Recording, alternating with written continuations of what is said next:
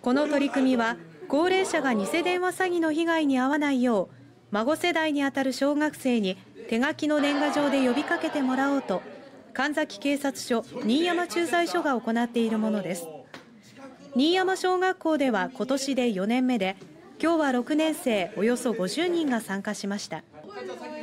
偽電話詐欺について学んだ後児童たちは俺俺と聞いたら電話を切ろうなど祖父母に注意を呼びかけるメッセージを年賀状に添えていました。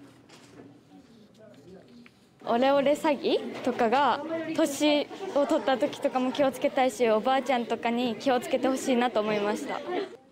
一人で悩まずに迷ったら相談してほしいなどのことを書きました。警察によりますと今年10月末までに県内の偽電話詐欺の被害件数は26件被害総額はおよそ3800万円に上っていてその6割ほどが65歳以上の高齢者だということです。